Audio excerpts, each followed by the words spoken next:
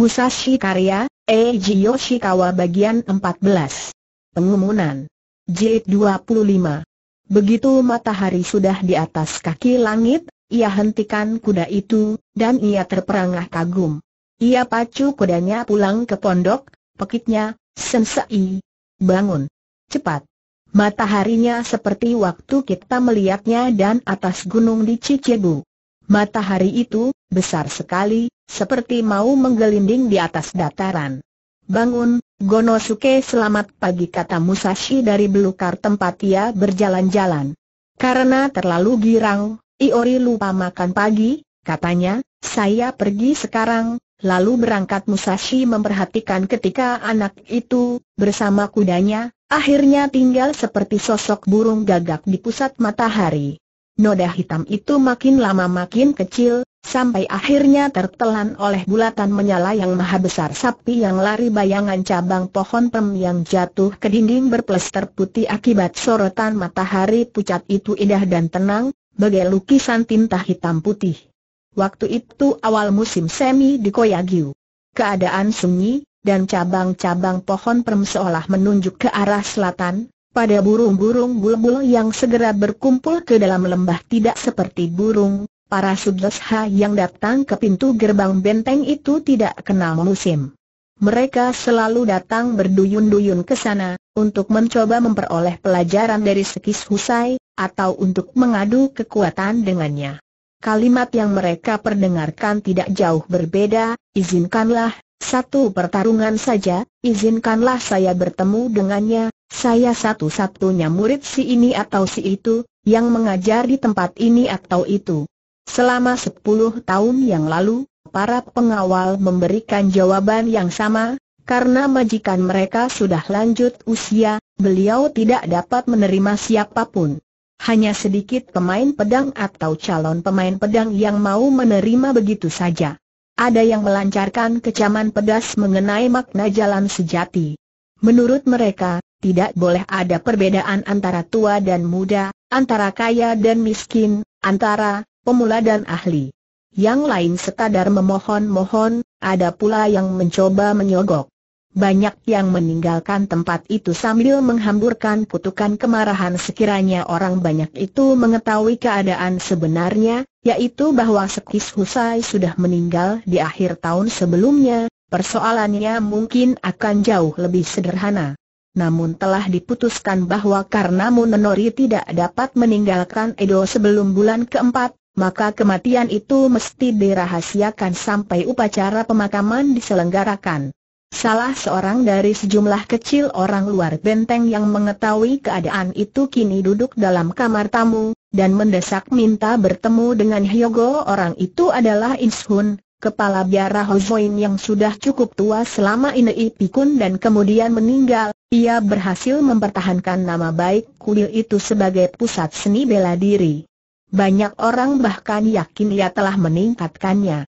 Ia melakukan segalanya yang mungkin untuk mempertahankan hubungan erat antara kuil dan Koyagyu yang sudah ada semenjak zaman Inei dan Sekis Husai. Kini ia ingin bertemu dengan Hyogo, karena ingin berbicara tentang seni bela diri. Sukekuro tahu apa yang sebetulnya dikehendaki Inshun. Ia ingin bertarung dengan orang yang oleh kakeknya sendiri dianggap sebagai pemain pedang yang lebih baik daripada dirinya sendiri maupun Munenori. Hyogo tentu saja tidak mau melayani pertandingan macam itu, karena menurutnya takkan menguntungkan siapa pun, dan karena itu tak ada artinya Sukekuro meyakinkan Inshun bahwa pesan telah disampaikan.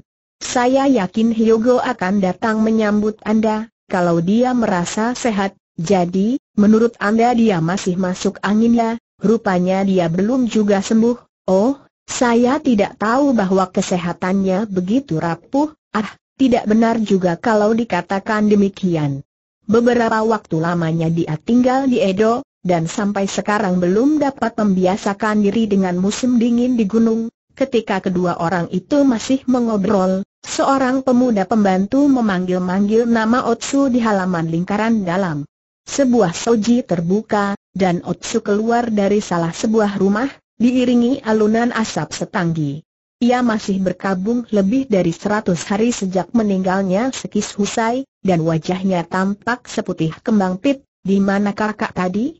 Saya cari di mana-mana, tanya anak lelaki itu, di kuil Buddha, Hyogo menanyakan kakak, ketika Otsu masuk ruangan Hyogo, ia berkata, ah, Otsu, terima kasih kau sudah datang. Aku ingin kau menjumpai seorang tamu atas namaku, tentu, sudah lama dia datang. Sukekuro yang sekarang mengawaninya, tapi kurasa Sukekuro sudah capek sekarang, mendengarkan dia terus bicara tentang seni perang, kepala biara Hozoinnya, Otsu tersenyum tipis, membungkuk, dan meninggalkan ruangan tidak begitu halus Karin Hun mencoba mengetahui pendapat Sukekuro mengenai masa lalu dan watak Hyogo, saya dengar, ketika Kato Kiyomasa menawarkan kedudukan kepadanya, Sekis Husai menolak, kecuali kalau Kiyomasa menyetujui satu syarat khusus, apa betul? Saya tak ingat, apa pernah mendengar hal seperti itu, menurut Inai, Sekis Husai mengatakan pada Kiyomasa bahwa Hyogo itu sangat gampang naik darah, maka yang di pertuan mesti berjanji, kalau Hyogo melakukan pelanggaran-pelanggaran besar, beliau akan mengampuni tiga pelanggaran pertama. Sekis Husai tidak pernah dikenal sebagai orang yang mau memaafkan sifat tak sabar. Tentunya beliau punya perasaan khusus terhadap Hyogo, cerita itu begitu mengejutkan Sukekuro, hingga ia masih juga mencari-cari jawaban ketika Otsu masuk. Otsu tersenyum pada kepala biara itu, dan katanya, senang sekali bertemu lagi dengan Bapak. Sayang sekali, Hyogo begitu sibuk menyiapkan laporan yang harus segera dikirim ke Edo. Tapi dia minta saya menyampaikan permintaan maafnya, karena tak dapat menemui bapak kali ini. Kemudian Otse menyibukkan diri menyajikan teh dan kue-kue untuk Inshun dan kedua pendeta muda pembantunya kepala biara tampak kecewa, sekalipun dengan sopan ia mengabaikan perbedaan antara alasan Sukekuro dengan alasan Otsu. Sayang sekali. Saya sebetulnya punya kabar penting untuknya, dengan senang hati akan saya sampaikan kabar itu, kata Sukekuro, dan Anda boleh yakin bahwa hanya Hyogo yang akan mendengarnya, oh, saya yakin tentang hal itu, kata pendeta tua itu. Hanya saja saya ingin mengingatkan Hyogo sendiri, kemudian Inshun mengulangi gunjingan yang telah didengarnya, tentang seorang samurai dari benteng Ueno di Provinsi Iga. Garis batas antara Koyagyu dan benteng itu berupa daerah yang jarang penduduknya, sekitar 3 km ke timur. Semenjak Ieyasu menyitanya dari Daimyo Kristen, Sutsui Sadat Sugu, dan menyerahkannya kepada Todo Takatora, banyak perubahan telah terjadi. Semenjak Takatora menetap setahun sebelumnya, ia telah memperbaiki benteng, meninjau kembali sistem pajak, memperbaiki irigasi, dan mengambil langkah-langkah lain untuk mengokohkan investasinya. Semua itu sudah menjadi rahasia umum. Tapi, menurut pendengaran Inshun, Takatora saat ini sedang mencoba meluaskan wilayah tanahnya dengan mendesak garis perbatasan menurut laporan, Takatora mengirimkan sejumlah samurai ke Tsukigase, dan di sana mereka membangun rumah-rumah, menebangi pohon prem, mencegat orang-orang jalan, dan terang-terangan melanggar hak milik yang di Pertuan Yagyu, kemungkinan, kata Inshun, yang di Pertuan Takatora sedang mengambil keuntungan dari masa perkabungan Anda. Anda boleh saja menilai saya terlalu pencemas, tapi kelihatannya dia punya rencana menggeser perbatasan ke arah sini, dan membuat pagar baru. Kalau memang benar demikian, akan jauh lebih mudah menangani hal-hal ini sekarang, daripada sesudah dia selesai melakukannya nanti. Saya khawatir kalau Anda hanya santai saja dan tidak melakukan sesuatu, nanti Anda menyesal. Sebagai salah seorang abdi senior, Sukekuro mengucapkan terima kasih pada Inshun atas berita itu. Akan saya suruh orang menyelidiki keadaan itu, dan kalau perlu nanti akan saya kirimkan keluhan, sebagai tanda terima kasih atas nama Hyogo, Sukekuro pun membungkuk ketika kepala biara itu pulang Sukekuro pergi menyampaikan informasi tentang gunjingan itu pada Hyogo, tapi Hyogo hanya tertawa. Biar saja, katanya. Kalau nanti pamanku kembali, dia dapat mengurusnya, Sukekuro mengerti pentingnya mengawal setiap jengkal tanah, karena itu ia tidak puas benar dengan sikap Hilgo. Ia berunding dengan para samurai tinggi lainnya, dan bersama-sama mereka menyimpulkan bahwa sekalipun memang dibutuhkan kebijaksanaan, tetap harus diambil suatu tindakan. Todo Takatsora adalah salah seorang daimyo paling kuat di negeri itu pagi harinya, sesudah berlatih pedang, Sukekuro meninggalkan dojo di atas Shinkagedo dan bertemu dengan seorang anak lelaki umur 13 atau 14 tahun anak itu membungkuk kepadanya, dan Sukekuro berkata gembira, Halo, Ushinosuke, melongok dojo lagi? Bawa hadiah buatku, ya? Coba lihat, oh, Kentang liar ia sebetulnya hanya setengah menggoda, karena kentang Ushinosuke selalu lebih bagus daripada kentang orang lain. Anak itu tinggal bersama ibunya di kampung terpencil Araki di gunung, dan sering datang ke benteng untuk menjual arang, daging babi hutan, dan barang-barang lain. Tak ada kentang hari ini, tapi saya bawa ini buat Otsu. Anak itu mengangkat kotak berselubung jerami yang dibawanya, Bawa apa sekarang ke lembak bukan, ini barang hidup. Di Tsukigase kadang-kadang saya dengar burung bulbul menyanyi. Dan ini saya tangkap satu HMM, jadi kau selalu lewat Tsukigase, ya betul. Itu jalan satu-satunya, aku mau tanya sekarang. Apa kau melihat banyak samurai akhir-akhir ini ada beberapa, apa kerja mereka di sana membangun pondok-pondok, apa kau melihat mereka mendirikan pagar atau semacam itu ya? Di samping pondok, mereka memasang beberapa jembatan, jadi mereka menebang segala macam pohon. Untuk kayu bakar juga, apa mereka menghentikan orang-orang di jalan saya kira tidak. Saya tidak melihatnya, Sukekuro menggelengkan kepala. Ku dengar samurai-samurai itu dari perdikan yang di Pertuan Todo, tapi aku tidak tahu apa kerja mereka di Tsukigase. Apa kata orang-orang di kampungmu orang bilang, mereka itu Ronin yang terusir dari Nara dan Uji. Mereka tak punya tempat tinggal, karena itu mereka pergi ke pegunungan, sekalipun sudah mendengar keterangan dari Inshun, Sukekuro merasa penjelasan ini bukan tak beralasan. Okubona Gayasu, hakim dari Nara, tak henti-hentinya berusaha agar daerah hukumnya bebas dari Ronin miskin, di mana Otsu tanya Ushinosuke. Saya ingin menyampaikan hadiah untuknya, ia memang selalu ingin bertemu Otsu, bukan hanya karena Otsu selalu memberikan gula-gula dan mengatakan yang baik-baik kepadanya, tapi karena dalam kecantikan Otsu ia merasa ada sesuatu yang bersifat gaib, yang bukan berasal dari dunia ini. Kadang-kadang ia tak mampu menentukan, apakah Otsu itu manusia atau dewi, barangkali dia di benteng, kata Sukekuro. Kemudian, sambil memandang ke kebun, katanya, oh, kau beruntung rupanya. Apa bukan dia yang di sana itu Otsu seru Ushinosuke keras Otsu menoleh dan tersenyum. Ushinosuke pun berlari terengah-engah ke sisi Otsu dan mengangkat kotaknya, lihat. Saya tangkap burung bulbul. Buat kakak, burung bulbul Otsu mengerutkan kening, tangannya tetap di samping. Ushinosuke tampak kecewa. Suaranya bagus katanya. Tak ingin kakak mendengar aku mau, tapi hanya kalau dia bebas terbang ke mana dia suka. Baru dia akan menyanyikan lagu-lagu yang bagus buat kita, kakak benar, kata Ushinosuke, sedikit cemberut. Apa mesti saya lepaskan kembali ku hargai maksudmu memberi hadiah, tapi, ya, aku lebih senang kalau burung itu dilepaskan daripada dikurung. Dengan diam Ushinosuke membuka kotak jerami itu, dan seperti anak panah, burung itu terbang ke atas dinding benteng. Lihat, senang sekali dia bebas, kata Otsu, orang-orang bilang, burung bulbul itu pembawa pertanda musim semi, kan? Barangkali akan datang orang membawa kabar gembira buat kakak, pembawa berita sama baiknya dengan datangnya musim semi. Memang benar, aku sedang mengharap mendengar suatu kabar, Otsu berjalan menuju hutan dan rumpun bambu di belakang benteng, Ushinosuke menyertainya di sampingnya.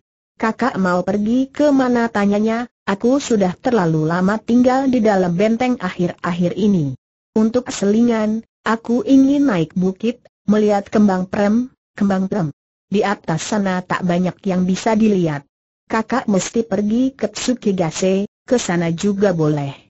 jauhkah dari sini sekitar 3 kilometer. Bagaimana kalau kita pergi ke sana? Aku mengangkut kayu api hari ini, karena itu aku membawa sapi, karena selama musim dingin itu Otsu hampir tak pernah tinggal di luar benteng, ia cepat mengambil keputusan. Tanpa mengatakan pada siapa pun, keduanya turun ke gerbang belakang yang biasa didatangi para pedagang dan orang-orang lain yang punya urusan dengan benteng. Gerbang itu dikawal seorang samurai bersenjata lembinglah mengangguk dan tersenyum pada Otsu. Ushinosuke pun orang yang sudah dikenal, karena itu si penjaga mengizinkan mereka keluar, tanpa memeriksa izin tertulis untuk berada di pekarangan benteng orang-orang di ladang dan di jalan mengucapkan teguran bersahabat kepada Otsu, tak peduli mereka kenal Otsu atau tidak. Ketika rumah-rumah penduduk mulai jarang, ia menoleh kembali ke arah benteng putih yang bertengger di pinggir gunung itu, dan bertanya, apa bisa aku kembali sebelum gelap tentu, nanti saya antar, Kampung Araki di sebelah sana Tsukigase kan tidak apa-apa, sambil mengobrol tentang berbagai hal, mereka melewati warung garam. Di sana ada seorang lelaki menukar daging babi hutan dengan sekarung garam. Selesai melakukan pertukaran, ia keluar dan berjalan di belakang mereka. Karena salju sedang mencair, jalanan makin lama makin buruk keadaannya. Tak banyak orang berjalan, Ushinosuke, kata Otsu, kau selalu datang ke Koyagyu, ya ya, apa Benteng Uono tidak lebih dekat dengan kampung Araki betul, tapi di Benteng Uono tak ada pemain pedang besar macam yang di Pertuan Yagyu, kau suka pedang, ya ya, Ushinosuke menghentikan sapinya, melepaskan tali dari tangannya, lalu berlari turun ke tepi sungai. Di situ ada sebuah jembatan. Sebatang balok lepas dari jembatan itu. Ushinosuke mengembalikan balok itu ke tempatnya, dan menunggu sampai orang di belakang mereka menyeberang dahulu orang itu tampak seperti Ronin. Ketika melewati Otsu, ia memandang Otsu dengan sikap kurang ajar, kemudian beberapa kali menoleh dari jembatan, dan juga dari seberang jembatan, sebelum akhirnya menghilang dalam lipatan gunung. Siapa orang itu menurutmu? Tanya Otsu gugup. Kakak takut tidak, tapi, banyak ronin di sekitar pegunungan di sini, betul tanya Otsu tidak tenang sambil menoleh, kata Ushinosuke, kak, apakah kakak dapat membantu saya? Kalau dapat, tolong minta pada Pak Kimura supaya mempekerjakan saya.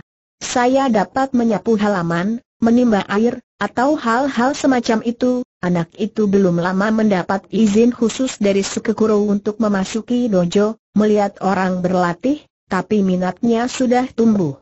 Nenek moyangnya bernama keluarga Kikumura. Sudah beberapa angkatan kepala keluarga menggunakan nama sebutan Mata Emon.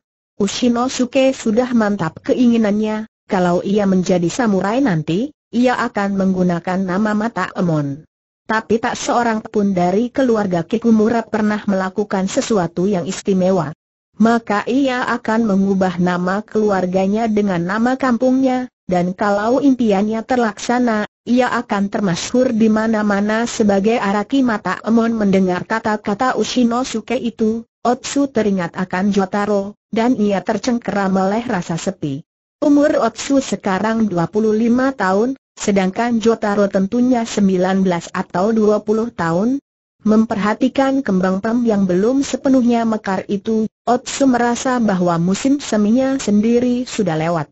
Ayo kita pulang, Ushinosuke, katanya tiba-tiba Ushinosuke melontarkan pandangan penuh pertanyaan, namun dengan patuh ia memutar sapinya, berhenti bentak seorang lelaki dua Ronin lain bergabung dengan Ronin yang datang dari warung garam tadi. Ketiganya mendekat, kemudian berdiri mengelilingi sapi, tangan mereka terlipat, kalian mau apa tanya Ushinosuke orang-orang itu menatap Otsu, ya, sekarang aku mengerti kata-katamu, kata salah seorang. Cantik, kan aku sudah pernah lihat dia, kata yang ketiga. Mungkin di Kyoto, tentunya dari Kyoto asalnya, dan pasti bukan dari kampung-kampung sekitar sini, aku tak ingat, di perguruan Yoshioka atau di tempat lain, tapi aku yakin pernah lihat dia, apa kau pernah di perguruan Yoshioka tiga tahun aku di sana, sesudah Sekigahara, kalau kalian punya urusan dengan kami, katakan apa urusan kalian kata Ushinosuke marah, kami mau sampai di rumah sebelum gelap, seorang dari ketiga Ronin menatap Ushinosuke, seolah baru pertama kali itu melihatnya. Kau dari Araki, kan? Salah satu dari pembuat arang, ya betul. Memang kenapa kami tidak butuh kau? Sana pulang justru itu yang mau kulakukan, ditariknya sapi itu kencang-kencang, dan seorang dari mereka melemparkan pandangan dahsyat yang pasti akan membuat kebanyakan anak-anak gemetar ketakutan. Pergi kalian kata Ushinosuke, wanita ini harus ikut kami, ikut ke mana tak ada urusan denganmu. Berikan cel itu tidak oh, dia kira aku main-main, kedua orang lainnya membidangkan dada dan menatap tajam, bergerak mendekati Ushinosuke salah seorang mengacungkan tinjunya yang sekeras matu kayu cemara ke depan dagunya Otse mencengkeram punggung sapi. Kerutan alis Ushinosuke jelas menandakan bahwa ada yang akan segera terjadi, oh, tidak. Berhenti pekik Otsu, dengan maksud menahan anak itu, agar tidak melakukan sesuatu tanpa pikir panjang. Namun nada sedih dalam suara Otsu justru memacu Ushinosuke untuk beraksi. Ia menyepak cepat dengan satu kakinya, mengenai orang yang ada di depannya, hingga orang itu mundur terhuyung. Baru saja kakinya menyentuh tanah kembali, ia benturkan kepalanya ke perut orang di sebelah kirinya. Serentak dengan itu, ia mencekal pedang orang itu dan menariknya dari sarungnya.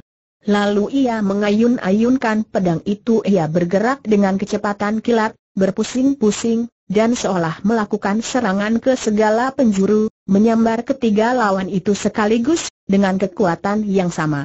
Apakah tindakannya yang cemerlang itu berdasarkan naluri semata-mata, ataukah akibat kesembronoan kanak-kanaknya, yang jelas taktik-taktiknya yang tidak biasa telah mengejutkan ketiga Ronin itu ayunan balik pedang itu dengan keras menerjang dada salah seorang Ronin.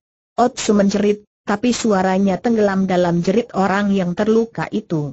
Ia jatuh ke arah sapi, sementara darah menyembur ke muka binatang itu. Dengan ketakutan, sapi pun menguak tak tentu bunyinya. Tepat saat itu pedang Ushinosuke menoleh pantatnya. Sekali lagi sapi itu melenguh, lalu lari kedua Ronin lain menyerbu ke arah Ushinosuke, sedangkan Ushinosuke melompat-lompat dengan tangkasnya dari batu ke batu di bantaran sungai. Aku tidak bersalah. Kalian yang bersalah teriaknya ketika kedua Ronin merasa bahwa Ushinosuke tak terkejar oleh mereka. Mereka mulai mengejar sapi Ushinosuke kembali melompat ke jalan, dan mengejar mereka sambil berseru-seru, lari, Kalian lari satu orang berhenti dan setengah menoleh. Bajingan kecil kau tinggalkan dulu dia teriak yang lain karena ketakutan, sapi itu meninggalkan jalan lembah dan lari mendaki bukit rendah, menempuh punggung bukit beberapa jauhnya, kemudian menerjang ke balik bukit itu. Dalam waktu sangat singkat ia berhasil menempuh jarak cukup jauh, dan sampai di tempat yang tak jauh letaknya dari perdikan Yagi walaupun dengan metel, tertutup menyerah, Otsu dapat bertahan agar tidak terlempar dan punggung sapi, dengan bergayut pada pelana muatanlah dapat mendengar suara-suara orang yang berpapasan dengannya, tapi ia begitu bingung, hingga tak dapat berteriak minta tolong. Sekiranya ia berteriak pun tidak banyak fadahnya. Di antara orang-orang yang membicarakan kejadian itu, Tak ada yang punya keberanian menghentikan binatang yang sudah menggila itu namun ketika mereka hampir sampai di dataran hanya, satu orang datang dari jalan kecil ke jalan utama. Jalan utama itu sangat sempit, walaupun namanya Jalan Raya Kasagi. Orang itu menyandang peti surat, dan kelihatan seperti seorang pembantu orang-orang berteriak-teriak, awas. Minggir tapi ia berjalan terus, langsung menyongsong sapi itu kemudian terdengar bunyi berderak mengerikan, tertanduk dia orang goblok padahal kenyataannya tidak seperti yang mula-mula diduga para penonton itu. Yang mereka dengar bukan bunyi sapi menanduk orang itu, tapi orang itu menjatuhkan pukulan yang memekakkan telinga ke pelipis binatang itu. Sapi pun mengangkat kepalanya yang berat ke samping, membalik setengah lingkaran, dan balik kanan jalan. Tapi belum lagi sepuluh kaki, Mendadak ia berhenti. Air liur menderas keluar dari mulutnya, sementara sekujur tubuhnya menggeletar. Turun cepat kata orang itu pada Otsu para penonton berkerumun dengan gembira, sambil memperhatikan satu kaki orang itu, yang dengan kokohnya menginjak tali binatang itu begitu selamat turun di tanah, Otsu membungkuk kepada penyelamatnya, walaupun masih terlalu pening untuk mengetahui di mana ia berada dan apa yang hendak dilakukannya, heran, binatang baik begini bisa menjadi gila kata orang itu ketika ia menuntun sapi ke pinggir jalan, dan mengikatnya ke sebatang pohon. Tapi, ketika terlihat olehnya darah di kaki binatang itu, katanya, oh, apa ini? Lo, luka dia, dan bekas pedang sementara ia memeriksa luka dan menggerutu, Kimura Sukekuro menerobos kerumunan orang banyak dan menyuruh mereka bubar, apa kau bukan pembantu kepala biara Inshun tanyanya, sebelum sempat menarik napas, beruntung sekali saya bertemu Bapak di sini. Saya membawa surat buat Bapak, dari kepala biara. Kalau Bapak tidak keberatan, saya persilakan membaca surat ini segera, orang itu mengeluarkan surat dari peti, dan menyerahkannya pada Sukekuro, Buat saya tanya Sukekuro terkejut. Dan sesudah yakin tak ada kesalahan, ia buka surat itu dan ia bakal mengenai para samurai di Tsukigase itu. Sejak percakapan kita kemarin, saya telah memeriksanya, dan saya temukan bahwa mereka bukan orang-orang dari yang di Pertuan Todo. Mereka itu orang jembel, Ronin yang sudah terusir dari kota-kota, dan terpaksa bersarang di sana selama berlangsungnya musim dingin. Dengan sengaja saya lekas-lekas mengabarkan kesalahan saya yang tidak menguntungkan ini pada Anda, terima kasih, kata Sukekuro. Ini cocok dengan yang saya dengar dari sumber lain. Katakan pada kepala biara, saya sangat lega, dan saya percaya dia pun merasa demikian juga, maafkan saya, karena telah menyampaikan surat ini di tengah jalan. Pesan Bapak akan saya sampaikan pada kepala biara. Selamat tinggal, tunggu. Berapa lama kau tinggal di Hozoing belum lama, siapa namamu sebutan saya Torazo, heran, gumam Sukekuro sambil memperhatikan wajah orang itu. Apa kau bukan Hamada Toranosuke bukan? Saya memang belum pernah bertemu Hamada, tapi ada satu orang di benteng sana yang berkeras mengatakan, Hamada sekarang bekerja sebagai pembantu Inshun, begitu, apa dia salah sebut Torazo merendahkan suaranya, wajahnya merah. Memang benar, saya ini Hamada. Saya datang di Hosmoin atas alasan-alasan pribadi.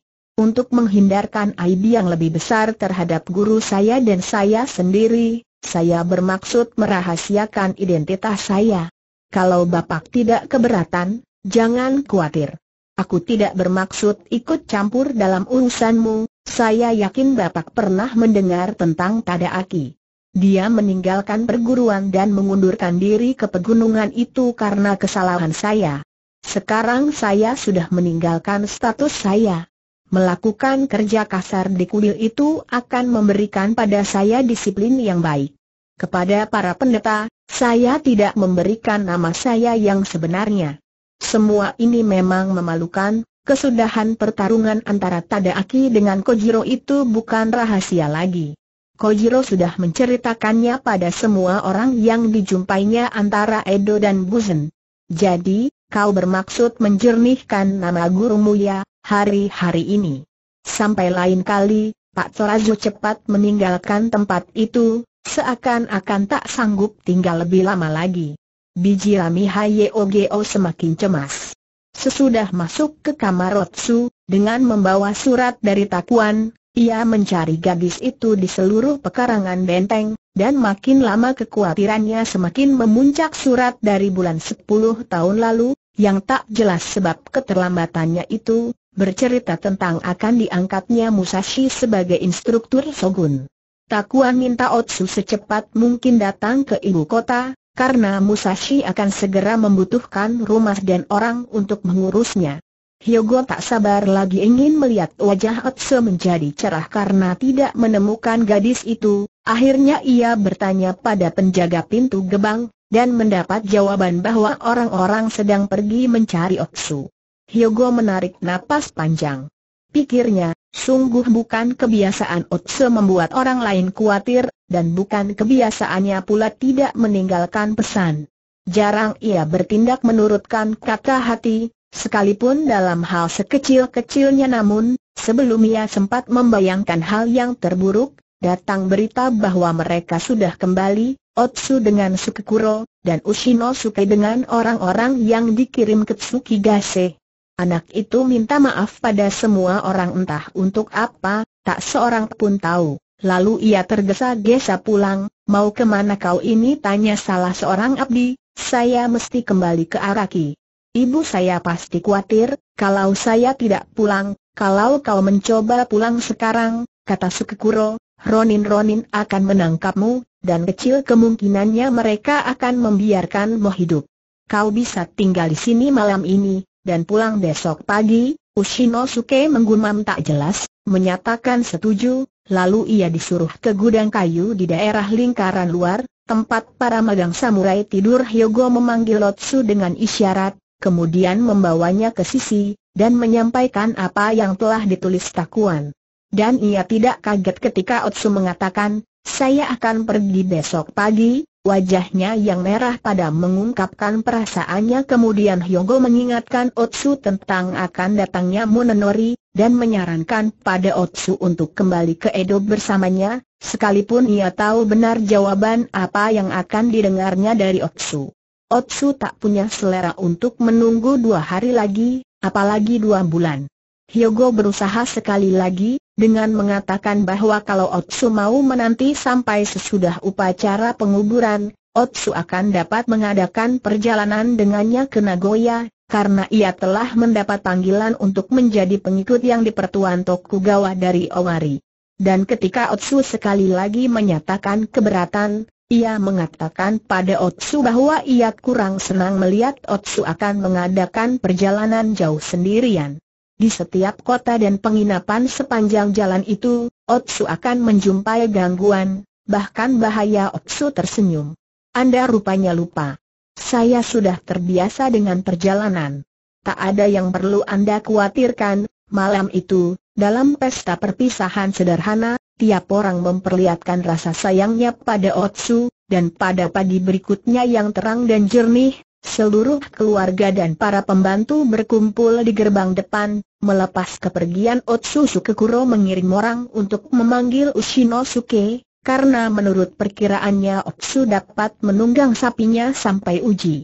Dan ketika orang itu kembali dengan laporan bahwa anak itu sudah pulang malam sebelumnya, Sukekuro memerintahkan supaya diambilkan kuda Otsu merasa statusnya terlampau rendah untuk mendapatkan perlakuan seperti itu, dan ia menolak tawaran tersebut, namun Hyogo bersikeras. Kuda kawu berbintik-bintik itu dituntun oleh seorang samurai magang, menuruni lereng landai yang menuju gerbang luar Hyogo berjalan sebentar, kemudian berhenti. Ia tak dapat menyangkal, kadang-kadang ia merasa iri pada Musashi, sebagaimana ia iri pada siapa pun yang dicintai Otsu. Walaupun hati Otsu menjadi milik orang lain, rasa sayangnya pada Otsu tidak berkurang.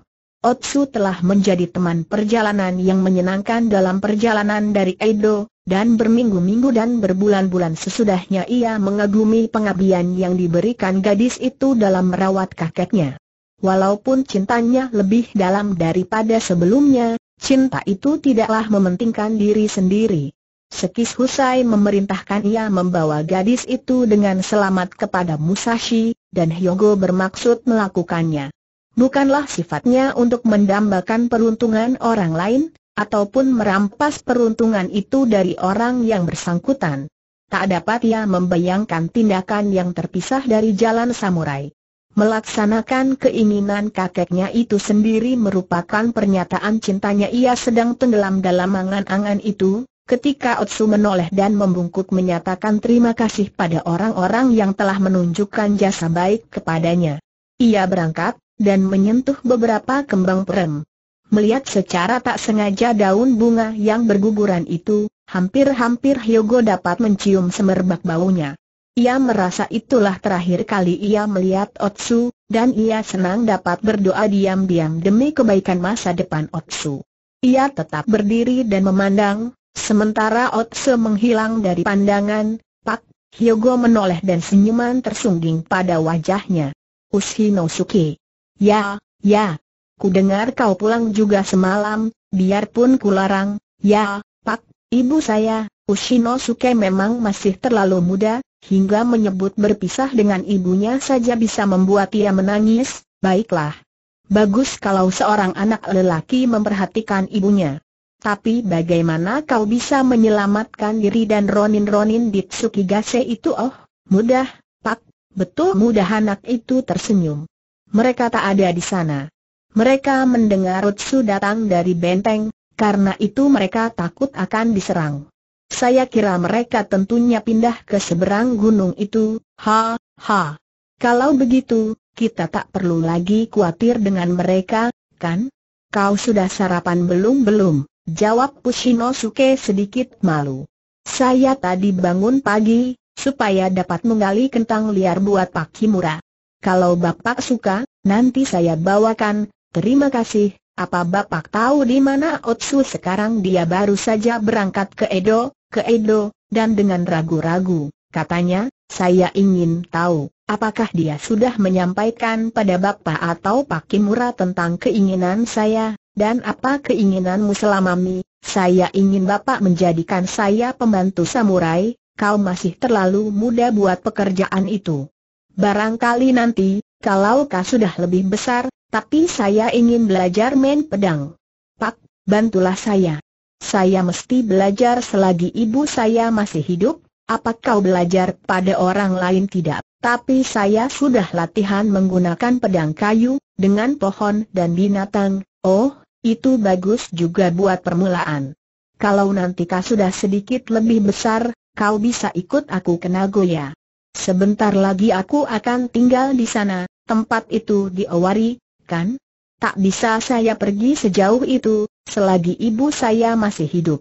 Hyogo jadi tergerak hatinya, katanya, sini ikut aku Ushinosuke ikut tanpa berkata-kata. Kita pergi ke dojo. Akan kulihat, apa kau punya bakat jadi pemain pedang? Ke dojo Ushinosuke pun bertanya pada diri sendiri, apakah ia sedang bermimpi. Sejak kecil ia sudah menganggap dojo Yagiyu yang kuno itu sebagai lambang segala yang paling diinginkannya di dunia ini. Sukekuro memang pernah mengatakan ia boleh masuk, hanya saja itu belum pernah dilakukannya. Tapi sekarang ia diundang masuk oleh salah seorang anggota keluarga cuci kakimu, baik, Ushinosuke pergi ke kolam kecil di dekat pintu masuk, dan dengan hati-hati sekali mencuci kakinya. Dengan cermat dibersihkannya kotoran yang ada di sela-sela kukunya begitu berada di dalam, ia merasa kecil dan tidak berarti. Kayu-kayu belandar dan kaso itu tua dan pejal, dan lantai dipoles sampai mengilap, hingga ia dapat berkaca di sana. Suara Hyogo terdengar lain ketika mengatakan, ambil pedang, Ushinosuke memilih sebilah pedang kayu ek hitam dari antara senjata-senjata yang tergantung di dinding. Hyogo mengambil juga sebilah, dan dengan ujung pedang diarahkan ke lantai, ia berjalan ke tengah ruangan, siap tanyanya dingin, Ya, jawab Pushinosuke sambil mengangkat senjatanya setinggi dada Hyogo membuka jurus, sedikit menyudut. Pushinosuke menggembungkan badan seperti landak. Alisnya terangkat, wajahnya mengerut ganas, dan darahnya menderas. Ketika Hyogo memberikan isyarat dengan mata bahwa ia akan menyerang, Ushinosuke menggeram keras. Sambil mengentakkan kaki ke lantai, Hyogo maju cepat ke depan, dan melancarkan serangan menyamping ke pinggang Ushinosuke, belum teriak anak itu. Dengan sikap seakan menendang lantai dan dirinya, ia melompat tinggi-tinggi, sampai melewati bahu Hyogo. Hyogo menjulurkan tangan kirinya dan mendorong sedikit kaki anak itu ke atas. Ushinosuke berjungkir balik dan mendarat di belakang Hyogo. Dalam sekejap ia tegak kembali dan berlari untuk memegang kembali pedangnya, cukup, kata Hyogo, ah, sekali lagi Ushinosuke mencekal pedangnya, mengangkatnya tinggi-tinggi di atas kepala dengan kedua belah tangan, dan menyerbu ke arah Hyogo seperti burung elang. Tapi senjata Hyogo yang diarahkan langsung kepadanya menghentikan gerakan itu. Ia melihat pandangan mata Hyogo, dan air matanya berlinang, anak ini punya semangat, pikir Hyogo, namun ia berpura-pura marah. Kau curang teriaknya. Kau lompat di atas bahuku, Ushinosuke tak dapat menjawab, kau tidak tahu kedudukanmu, dan lancang terhadap atasan. Duduk di sana anak itu berlutut dengan tangan ke depan, dan membungkuk meminta maaf. Hyogo mendekatinya, menjatuhkan pedang kayu itu, dan menarik pedangnya sendiri. Ku bunuh kau sekarang. Jangan menjerit, bebe bunuh saya julurkan lehermu. Buat seorang samurai, tak ada yang lebih penting daripada patuh kepada aturan sopan santun. Biarpun kau cuma anak tani, perbuatanmu itu tak dapat diampuni, Bapak mau bunuh saya cuma karena perbuatan kasar betul, Ushinosuke menengadah sebentar kepada samurai itu dengan mata pasrah, kemudian mengangkat kedua tangan ke arah kampungnya, katanya, Ibu, aku akan jadi bagian dari tanah di benteng ini. Aku tahu, ibu akan sedih. Maafkan aku karena tidak menjadi anak yang baik, kemudian dengan patuh ia menjulurkan lehernya Hyogo tertawa dan memasukkan kembali pedangnya ke dalam sarungnya. Sambil menepuk-nepuk punggung Ushinosuke, katanya, kau tidak betul-betul berpikir aku akan membunuh anak macam kau, kan jadi, bapak tidak sungguh-sungguh tidak, bapak bilang, sopan santun itu penting. Jadi, apa bisa dibenarkan kalau seorang samurai bercanda macam itu ini bukan lelucon? Kalau kau mau berlatih jadi samurai, aku mesti tahu orang macam apa kau itu. Tadi saya pikir bapak sungguh-sungguh, kata Ushinosuke. Napasnya kembali normal, kau bilang belum pernah dapat pelajaran, kata Hyogo. Tapi waktu ku desak kau ke tepi ruangan, kau lompat ke atas bahuku. Tidak banyak murid dapat berbuat begitu, biarpun sudah dapat latihan 3-4 tahun, tapi saya memang belum pernah belajar pada orang lain, tak perlu dirahasiakan. Kau pasti punya guru yang baik. Siapa dia anak itu berpikir sebentar, kemudian katanya, oh, ya, sekarang saya ingat, bagaimana saya belajar lompat, siapa yang mengajar bukan manusia yang mengajar, peri air barangkali bukan, Biji Rami, apa biji Rami? Mana mungkin kau belajar dari biji Rami begini? Di pegunungan itu ada beberapa petarung orang-orang yang dapat menghilang dari depan mata kita. Saya melihat latihan mereka beberapa kali, maksudmu ninja, ya? Tentunya kelompok Iga yang kau lihat itu. Tapi apa hubungannya dengan biji Rami begini? Sesudah Rami itu ditanam pada musim semi, tak lama kemudian tumbuh kecambahnya, lalu saya lompati pokok itu. Tiap hari saya latihan melompat ke sana kemari. Kalau udara lebih panas, kecambah itu tumbuh cepat, bukan main cepatnya, jadi, dari hari ke hari saya lompat lebih tinggi lagi, oh, begitu, saya lakukan itu tahun lalu dan tahun sebelumnya. Dari musim semi sampai musim gugur, pada waktu itu Sukekuro masuk dojo, katanya, Hyogo, ini ada surat lagi dari Edo, Hyogo membacanya, lalu katanya, Otsu belum jauh, kan tak lebih dari 8 kilometer, barangkali. Apa yang terjadi ya? Takuan bilang, pengangkatan Musashi dibatalkan. Mereka rupanya sangsi akan wataknya. Kupikir, kita tak boleh membiarkan Otsu terus pergi ke Edo tanpa memberitahu dia, saya akan pergi tidak, biar aku yang pergi, sambil mengangguk pada Ushinosuke, Hyogo meninggalkan dojo dan langsung pergi ke kandang setengah perjalanan menuju Uji, ia mulai berpikir. Biarpun Musashi tak jadi diangkat, buat Otsu akan sama saja, yang diminati Otsu orangnya, bukan statusnya. Sekalipun Hyogo misalnya berhasil meyakinkannya untuk tinggal sedikit lebih lama di Koyagyu, Otsu pasti akan pergi terus ke Edo. Jadi, buat apa menghalangi perjalanannya dengan menyampaikan berita buruk itu Hyogo kembali ke Koyagyu dan melambatkan jalan kudanya. Dilihat dari luar, ia tampak tenang, namun di hatinya berkecamuk perjuangan hebat. Oh, kalau sekiranya ia dapat melihat Otsu sekali lagi. Ia mesti mengakui pada diri sendiri, bahwa itulah alasan sebenarnya ia menyusul Otsu, namun ia tak akan mengakuinya pada orang lain Hyogo mencoba mengendalikan perasaannya. Seperti semua orang lain, prajurit terkadang mengalami saat-saat lemah, saat-saat gila.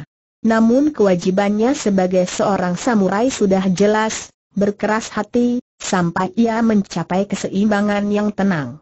Sekali ia berhasil menyeberangi rintangan khayal, jiwanya akan ringan dan bebas, dan matanya akan terbuka melihat pohon-pohon gedalu hijau di sekitarnya, dan setiap lembar rumput yang ada. Cinta bukanlah satu-satunya emosi yang dapat mengusik hati seorang samurai. Hatinya adalah dunia yang sama sekali berbeda. Pada masa ini, dunia sedang sangat membutuhkan orang-orang muda berbakat, jadi bukan waktunya tergiur oleh sekuntum bunga yang ada di tepi jalan menurut Hyogo, yang penting adalah bagaimana berdiri di tempat yang benar, agar ia dapat menunggangi ombak zaman. Ramai juga, ya ujar Hyogo dengan hati riang, ya, Nara jarang begini baik keadaannya, jawab Sukekuro. Macam pesiar saja, beberapa langkah di belakang mereka, ikut juga Ushinosuke. Hyogo mulai menyukai anak itu. Anak itu sekarang lebih sering datang ke benteng, dan dalam masa peralihan untuk menjadi abdi biasa. Waktu itu ia memanggul makan siang kedua orang itu. Ia membawa sepasang sandal cadangan untuk Hyogo, yang ia ikatkan ke obinya mereka berada di sebuah lapangan terbuka di tengah kota. Di satu sisi menjulang pagoda Kofukuji yang bertingkat lima, di atas hutan yang mengitarinya. Di seberang lapangan tampak rumah-rumah para pendeta Buddha dan Sinto. Walaupun hari itu tenang dan udara seperti pada musim semi, namun di daerah-daerah rendah tempat berdiamnya penduduk kota, mengambang kabut tipis. Kerumunan orang yang berjumlah antara 4 sampai 500 itu tidak tampak terlalu besar, karena luasnya lapangan. Sebagian dari rusa yang memasyhurkan nama Nara itu berjalan-jalan di antara para penonton, di sana-sini mengendus-endus potongan-potongan makanan yang lezat. Mereka belum selesai juga, ya tanya Hyogo, belum, kata Sukekuro. Rupanya sedang istirahat makan siang, jadi, pendeta pun mesti makan Sukekuro tertawa waktu itu berlangsung semacam pertunjukan. Kota-kota besar biasanya memiliki teater, tapi di Nara dan kota-kota yang lebih kecil, pertunjukan itu diadakan di udara terbuka. Para tukang sulap, penari, tukang boneka, demikian juga para pemanah dan pemain pedang, semuanya melakukan pertunjukan di luar. Tapi atraksi hari ini lebih dari sekadar hiburan. Tiap tahun para pendeta pemain lembing Hozoin mengadakan pertandingan. Dengan itu mereka menetapkan susunan kedudukan mereka di kuil. Karena pertunjukan dilaksanakan di depan umum, para pemain harus berjuang keras dan pertarungan sering berlangsung hebat dan menakjubkan.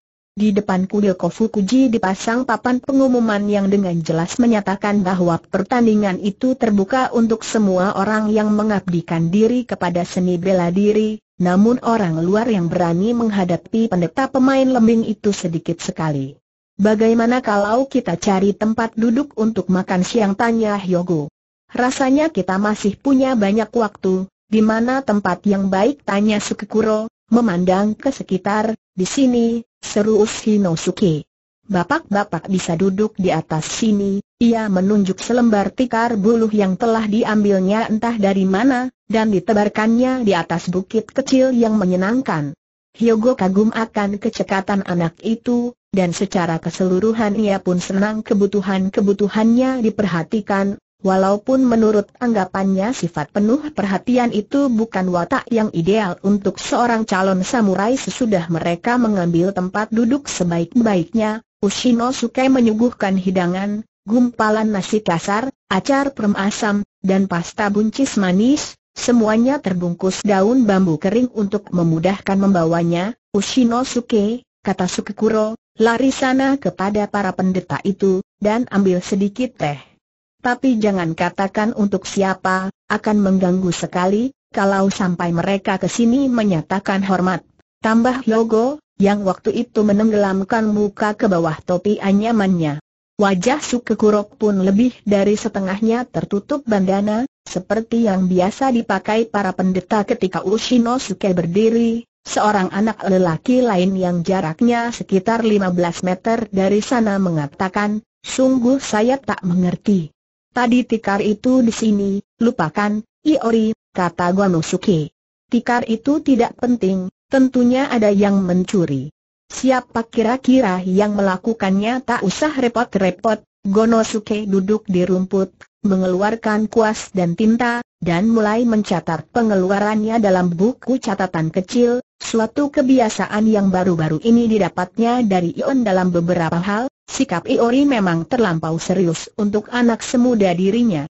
Ia memperhatikan benar keuangan pribadinya, tidak pernah memboroskan sesuatu.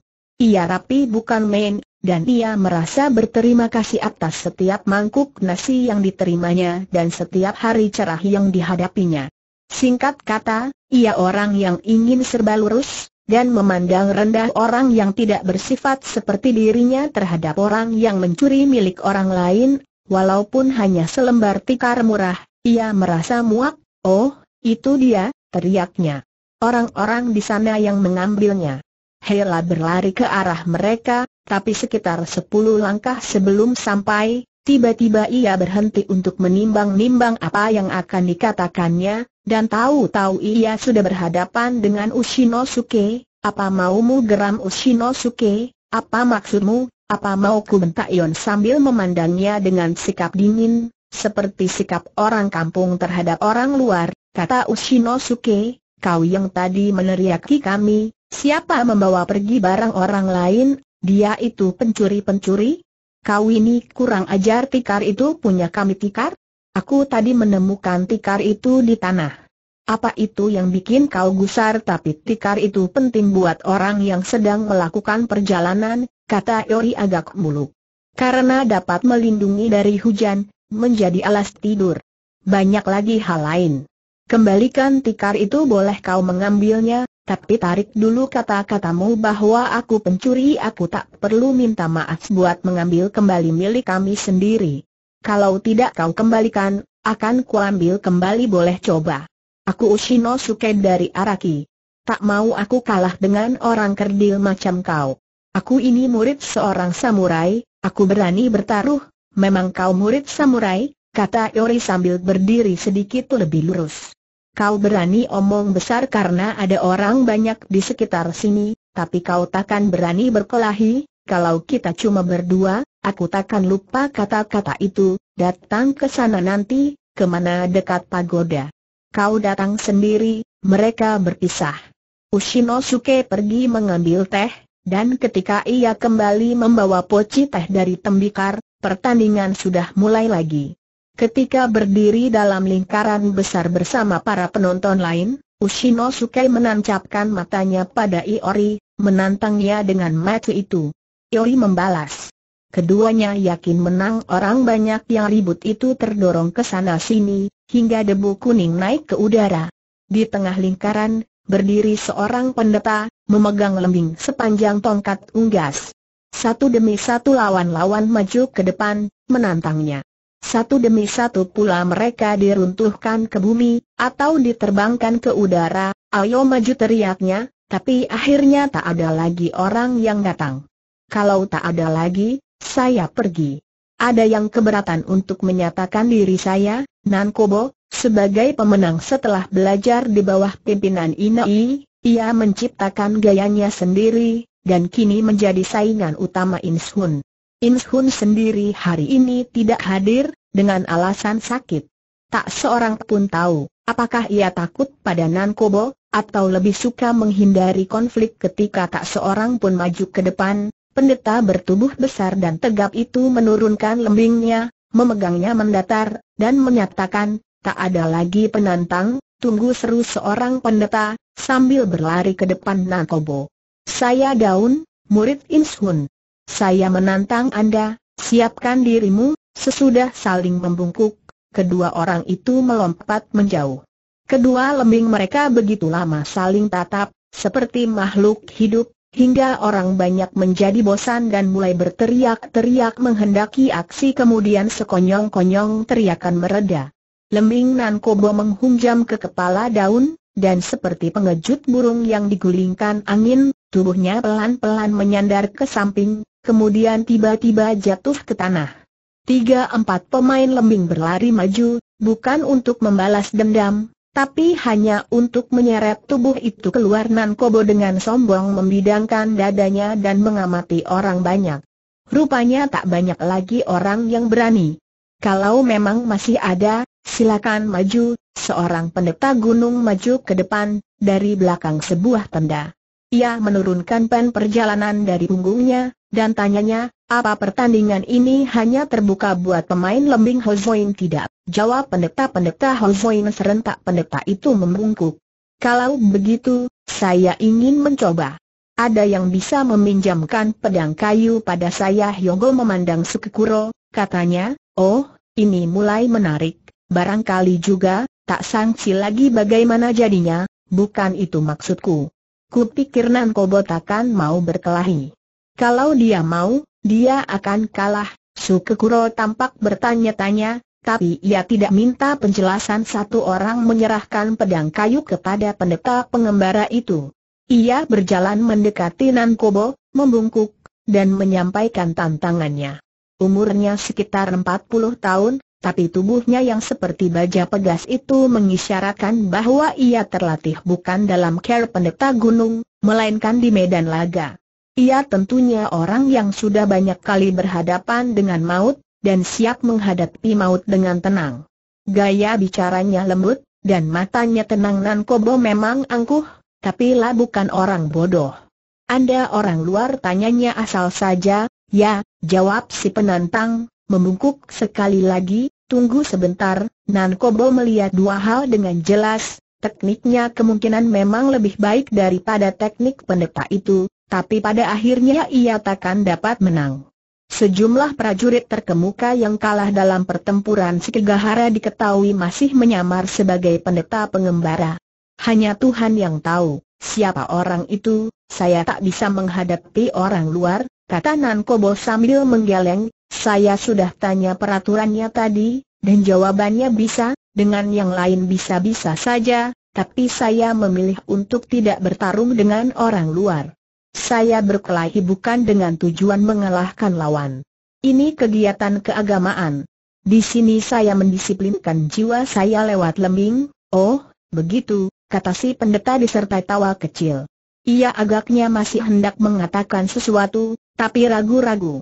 Ia menimbang-nimbang sebentar, kemudian mengundurkan diri dari medan, mengembalikan pedang kayu itu, dan menghilang Nan Kobo memakai kesempatan itu untuk keluar, tanpa memedulikan bisik-bisik orang bahwa mengundurkan diri itu baginya berarti pengecut. Diikuti dua tiga muridnya, ia berjalan dengan megahnya, seperti jenderal penakluk, nah, apa kataku kata Logo, Anda betul sekali, orang itu pasti salah satu dari orang-orang yang bersembunyi di Gunung Kudo. Gantikan jubah putih dan dandanannya itu dengan ketopong dan baju zirah, dan dia akan menjadi salah seorang pemain pedang besar beberapa tahun lalu, orang-orang sudah menjarang, dan Sukekuro mulai mencari Ushinosuke, tapi anak itu tidak kelihatan olehnya. Mendapat isyarat dari Iori tadi, ia pergi ke pagoda, dan kini mereka berdua berdiri saling tatap dengan ganasnya, jangan salahkan aku, kalau kau terbunuh, kata Iori, omong besar kau kata Ushinosuke, mengambil tongkat untuk senjata Iori menyerbu dengan pedang diangkat tinggi-tinggi. Ushinosuke melompat mundur. Karena menurut pendapatnya Ushinosuke takut, Iori berlari langsung ke arahnya, tapi Ushinosuke melompat sambil menendang sisi kepalanya. Tangan Iori memegang kepalanya, dan ia rebah ke tanah. Tapi ia cepat pulih kembali, dan dalam sekejap sudah berdiri lagi. Kedua anak itu berhadapan-hadapan dengan senjata terangkat. Lupa akan ajaran Musashi dan Gonosuke, Iori menyerang dengan mata tertutup. Ushinosuke menyamping sedikit dan memukul dengan tongkat, ha! Aku menang teriak Ushinosuke. Tapi ketika dilihatnya Iori tak bergerak sama sekali, ia jadi ketakutan dan lari, siapa bilang bentak Gonosuke. Tongkatnya yang empat kaki panjangnya itu menghantam pinggul Ushinosuke. Ushinosuke jatuh sambil menjerit kesakitan, tapi sesudah melihat Gonosuke sekilas, ia bangkit dan lari lagi seperti kelinci, hingga kepalanya membentur Sukekuro, Ushinosuke. Apa yang terjadi di sini? Ushinosuke cepat menyembunyikan diri di belakang Sukekuro, sehingga samurai itu berhadap-hadapan dengan Gonosuke. Untuk sesaat seakan-akan benturan tak dapat dihindari lagi. Tangan Sukekuro menyambar pedang, sedangkan Gonosuke mengetatkan pegangan tongkatnya, boleh saya bertanya-tanya Sukekuro. Kenapa Anda mengejar anak ini, seperti mau membunuhnya sebelum menjawab, saya ingin mengajukan satu pertanyaan. Apa Anda lihat tadi dia merobohkan anak itu? Apa anak itu teman Anda ya? Apa ini salah seorang pembantu Anda secara resmi? Tidak. Sambil menatap Pushinosuke, tanyanya garang, kenapa kau pukul anak itu, lalu lari? Katakan yang sebenarnya sekarang, belum lagi Ushinosuke membuka mulut, Ioi sudah mengangkat kepala dan berteriak, itu tadi pertarungan sambil duduk kesakitan, katanya, kami berdua bertarung, dan saya kalah, apa kalian berdua sudah saling tantang sesuai aturan, dan sepakat bertempur tanya Gonosuke. Ia memandang kedua anak itu bergantian, dan tampak nada kagum dalam matanya dengan sikap sangat malu, Ushinosuke berkata, saya tidak tahu itu tadi tikarnya, kedua pria itu saling menyeringai. Sadarlah mereka bahwa kalau tadi mereka tidak mengendalikan diri, kejadian sepele yang kekanak-kanakan itu dapat berakhir dengan pertumpahan darah. Saya menyesalkan kejadian ini, kata Sukekuro. Begitupun saya. Saya harap Anda memaafkan saya, tidak apa-apa. Guru saya menanti kami, karena itu lebih baik kami pergi sekarang. Mereka keluar pintu gerbang sambil tertawa, Gonosuke dan Iori ke kiri, Sukekuro dan Ushinosuke ke kanan kemudian Gonosuke menoleh, katanya, boleh saya bertanya? Kalau kami terus mengikuti jalan ini, apa kami akan sampai benteng Koyagyu Sukekuro mendekati Gonosuke, dan beberapa menit kemudian, ketika Hyogo bergabung dengan mereka, ia menyampaikan pada Hyogo siapa orang-orang itu, dan kenapa mereka ada di sana Hyogo menarik napas panjang dengan sikap simpatik. Sayang sekali. Coba kalau Anda datang tiga minggu lalu, sebelum Motsu pergi menggabungkan diri dengan Musashi di Edo, tapi dia tak ada di Edo, kata Gonosuke. Tak ada yang tahu di mana dia berada, termasuk teman-temannya, Iori berusaha menahan air matanya, namun sesungguhnya ia ingin sekali pergi sendiri ke suatu tempat, untuk melampiaskan perasaannya.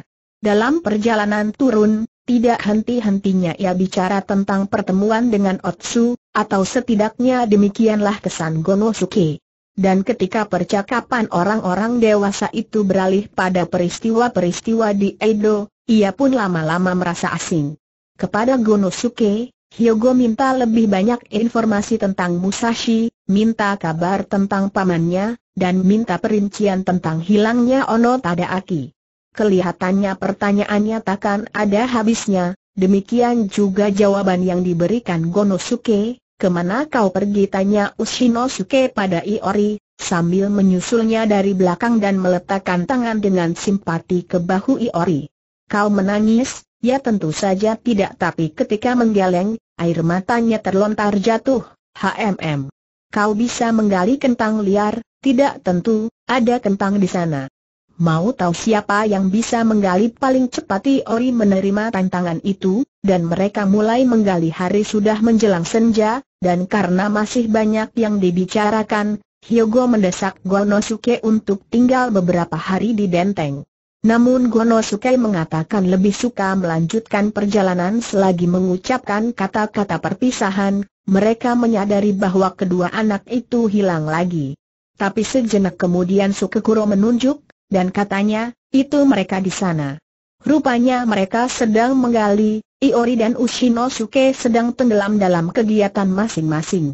Karena rapuhnya akar kentang, mereka mesti menggali dengan hati-hati sampai dalam. Ketiga lelaki itu senang melihat ketekunan mereka, dan diam-diam mendekati mereka dari belakang, serta memperhatikan mereka beberapa menit lamanya. Akhirnya Ushinosuke menengadah melihat mereka lah tergagap sedikit, sedangkan Yori menoleh sambil menyeringai. Lalu mereka kembali bekerja keras, Aku menang teriak Ushinosuke sambil mencabut kentang panjang dan meletakkannya di tanah melihat lengan Iori masih terbenam sampai bahu dalam lubang. Gonosuke berkata tak sabar, kalau kau tidak lekas menyelesaikannya, aku pergi sendiri sambil meletakkan satu tangan ke paha, seperti seorang petani tua, Iori memaksa dirinya berdiri, dan katanya, oh, tak sanggup aku. Sampai malam takkan selesai, dengan wajah menyerah, dikibaskannya tanah dari kimononya, tak bisa kau mengeluarkan kentang itu, padahal sudah menggali begitu dalam tanya Ushinosuke. Mari aku tarikan, tidak, kata Yori sambil mencegah tangan Ushinosuke. Nanti patah, dengan hati-hati dikembalikannya tanah itu ke dalam lubang, dan dipadatkannya, selamat tinggal, kata Ushinosuke. Dengan bangga ia memanggul kentangnya, dan secara kebetulan kelihatan ujungnya yang patah melihat itu, Hyogo berkata, kau kalah. Boleh saja kau menang dalam perkelahian, tapi kau tidak lulus dalam pertandingan menggali kentang, tukang sapu dan pedagang bunga-bunga sakura jadi berwarna pucat karena sudah lewat masa puncaknya, sedangkan kembang widuri sudah layu, mengingatkan orang pada masa berabad-abad lalu, ketika Nara masih menjadi ibu kota. Hari itu agak terlalu panas untuk berjalan, tapi baik Gonosuke maupun Iori belum lelah berjalan Iori menarik lengan baju Gonosuke, dan katanya khawatir. Orang itu masih saja mengikuti kita Gonosuke terus memandang lurus ke depan, katanya, pura-pura kita tidak melihat dia, dia sudah di belakang kita sejak kita meninggalkan Kofukuji, ya, dan dia ada di penginapan itu, Waktu kita tinggal di sana, kan tak usah kau khawatir karena itu.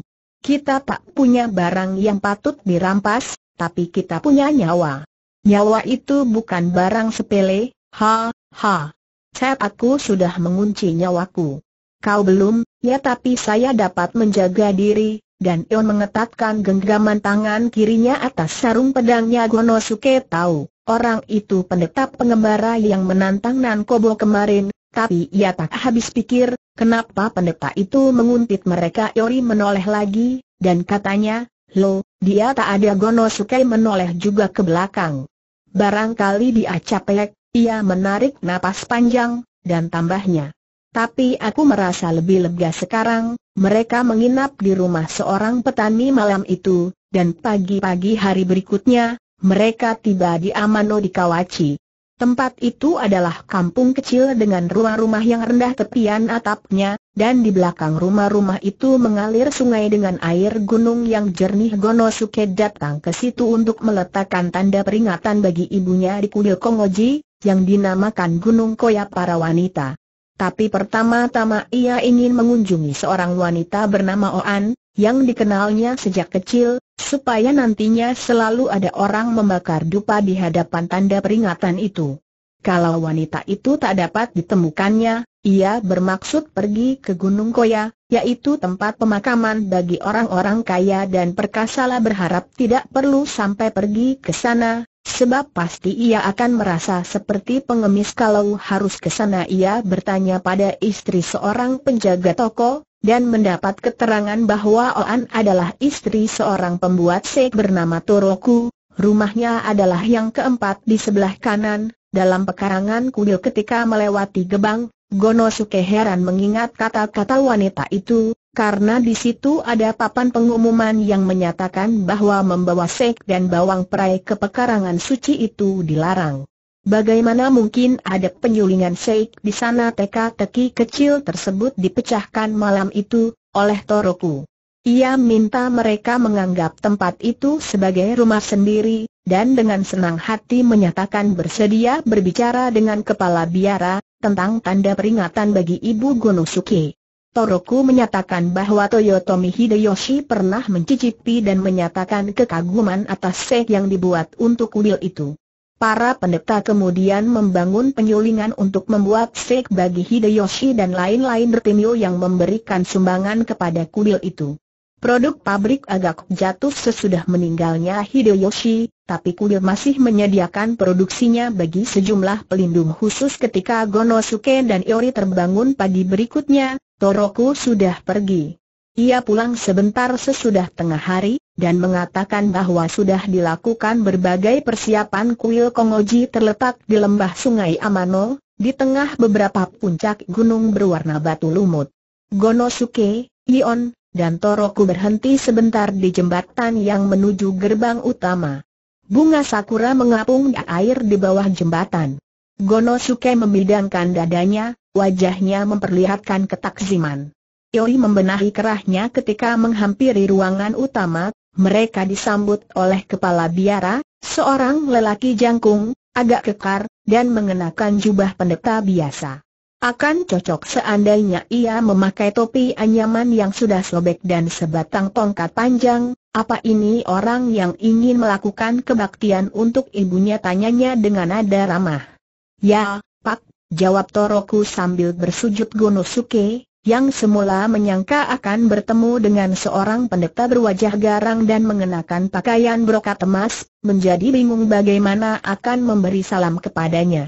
Ia membungkuk dan memperhatikan ketika kepala biara itu turun dari serambi, memasukkan kakinya yang besar ke dalam sandal jerami yang kotor, dan berhenti di depannya. Dengan tasbih di tangan, kepala biara minta mereka mengikutinya, Kemudian seorang pendeta muda mengikuti mereka dari belakang mereka melewati ruang yakushi, kamar makan, pagoda harta bertingkat satu, dan tempat kediaman para pendeta. Sampai di ruang Dainichi, pendeta muda itu maju ke depan dan bicara dengan kepala biara. Kepala biara mengangguk, dan si pendeta membuka pintu dengan kunci yang sangat besar Gonosuke dan Iori memasuki ruang besar itu bersama-sama, dan berlutut di hadapan podium para pendeta. Sepuluh kaki di atas podium terdapat patung raksasa Dainichi dari emas, Buddha alam semesta dari sekte-sekte rahasia. Beberapa waktu kemudian, kepala biara muncul dari batik altar, dalam jubah kebesarannya, dan mengambil tempat di atas podium. Mulailah terdengar alunan kitab sutra. Tanpa kentara, ia seolah berubah bentuk menjadi seorang pendeta tinggi yang bermartabat. Kekuasaannya jelas kelihatan dari posisi bahunya Gonosuke menangkupkan tangan di depan badan. Segumpal awan kecil seolah melintas di depan matanya, dan dari gumpalan awan itu muncul bayangan celah Shiojiri, di mana ia dan Musashi saling menguji kekuatan. Ibunya duduk di sisi lain, tegak seperti papan. Ia tampak khawatir, seperti ketika dulu ia menyerukan kata yang menyelamatkan Gonosuke dalam perkelahian itu, Ibu, pikir Gonosuke, Ibu tak perlu khawatir dengan masa depanku. Musashi sudah setuju menjadi guruku. Tak lama lagi aku akan dapat mendirikan perguruanku sendiri. Dunia boleh saja kacau, tapi aku takkan menyeleweng dari jalanku dan aku pun takkan melalaikan kewajiban-kewajibanku sebagai anak. Ketika Gonosuke lepas dari lamunan itu, alunan suara kepala biara sudah berhenti, dan ia sudah pergi. Di sampingnya Yoi duduk terpaku, matanya lekat pada wajah Dainichi yang merupakan keajaiban dalam bidang seni patung, karya Unkei yang agung di abad ketiga betas. Kenapa kau menatap begitu, Iori tanpa mengalihkan pandangannya, kata anak itu, kakak saya. Buddha ini kelihatan seperti kakak saya, Gonosuke tertawa mendengarnya. Apa yang kau bicarakan ini? Melihat dia saja kau belum pernah. Bagaimanapun, takkan pernah ada orang yang bisa tampak sewelas asih dan setenteram Dainichi, Iori menggelengkan kepala keras-keras. Tapi saya sudah melihat dia. Dekat kediaman yang di pertuan Yagyu di Edo dan bicara dengan dia. Waktu itu saya tidak tahu dia kakak saya, tapi tadi, waktu kepala biara menyanyi, muka Seng Buddha berubah menjadi muka kakak saya. Dan kakak saya seolah mengatakan sesuatu pada saya, mereka keluar dan duduk di beranda, enggan membuang pesona khayal yang telah mereka peroleh. Kebaktian tadi itu untuk ibuku, kata Gonosuke termenung. Tapi hari ini hari baik juga untuk makhluk hidup. Duduk seperti ini di sini, rasanya sukar aku percaya bahwa perkelahian dan pertumpahan darah bisa berlangsung, puncak pagoda harta yang terbuat dari logam itu berkilauan seperti pedang bertatahkan permata, dalam cahaya matahari yang sedang tenggelam. Semua bangunan lain berdiri dalam bayangan gelap. Lentera-lentera batu berderet di jalan gelap yang mendaki bukit terjal menuju warung teh gaya muromaci dan sebuah mausoleum kecil seorang yarawati tua, dengan kepala tertutup bandana sutra putih, dan seorang laki-laki gempal berumur sekitar 50 tahun, sedang menyapu daun-daunan dengan sapu jerami, dekat warung teh yarawati itu mengeluh, kemudian katanya, kukira sekarang sudah lebih baik, hanya sedikit orang datang ke bagian kuil ini, meski sekadar untuk membersihkan dedaunan dan bangkai burung yang menumpuk selama musim dingin, ibu tentunya lelah, kata laki-laki itu. Kenapa tidak duduk beristirahat? Biarku selesaikan, ia mengenakan kimono katun sederhana dengan mantel tak berlengan, sandal jerami, dan kas kulit berpola bunga sakura, berikut pedang pendek dengan gagang tanpa hiasan yang terbuat dari kulit ikan hiu, aku tidak lelah, jawab Biarawati itu sambil tertawa kecil. Tapi bagaimana denganmu? Kau tidak biasa dengan kerja ini. Apa tanganmu tidak lecet tidak lecet, tapi melepuh semua, perempuan itu tertawa lagi, katanya, nah, apa itu bukan tanda metu yang bagus buat dibawa pulang aku tak peduli. Aku merasa hatiku sudah disucikan. Aku berharap persembahan kerja kita yang tak berarti ini diterima dewa-dewa, oh, sudah gelap benar. Mari kita selesaikan besok pagi saja, Gonosuke dan Iori sekarang berdiri di dekat serambi. Kutsu dan Yoshu pelan-pelan menyusuri jalan yang menurun, sambil berpegangan tangan. Ketika sampai di dekat ruang Dainichi, keduanya terkejut dan berseru, siapa di situ kemudian kata Myoshu, hari bagus, ya? Apa kalian datang buat melihat-lihat Gonosuke membungkuk? Katanya, tidak, saya mengirim bacaan sutra buat ibu saya, oh, saya senang sekali bertemu dengan orang muda yang tahu terima kasih kepada orang tuanya, ia menepuk kepala Ioi dengan sikap keibuan, Kutsu, apa kue gandum itu masih ada? Kutsu mengeluarkan bungkusan kecil dari lengan kimononya dan menawarkannya pada Iori. Maafkan saya, menawarkan makanan sisa, Gonosuke, boleh saya menerimanya? Tanya Iori. Ya, kata Gonosuke, menyatakan terima kasih pada Kutsu atas nama Iori, dari aksen bicaramu, rupanya kau datang dari timur, kata Myoshu, boleh saya bertanya, Ke mana kalian hendak pergi rasanya ini perjalanan tanpa akhir, di jalan tak ada ujung. Anak ini dan saya sama-sama murid jalan pedang, oh, jalan sulit yang kalian pilih itu. Siapa guru kalian namanya Miyamoto Musashi, Musashi? Yang benar Myoshu tertegun, seakan-akan sedang mengingat kembali kenangan manis, di mana Musashi sekarang tanya Kutsu.